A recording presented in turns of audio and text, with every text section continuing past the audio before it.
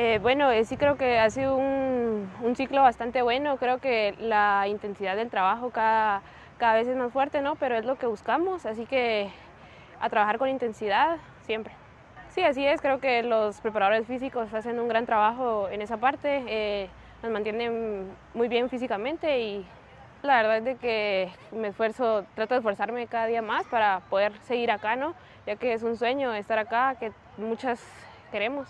Creo que eso nos motiva a seguir esforzándonos más, ¿no? Porque eh, vienen más jugadoras y nos pueden quitar el puesto, algo así, pero pues eh, es de esforzarse cada día más. Me considero una jugadora que soy un poco rápida eh, y un poco técnica a la vez.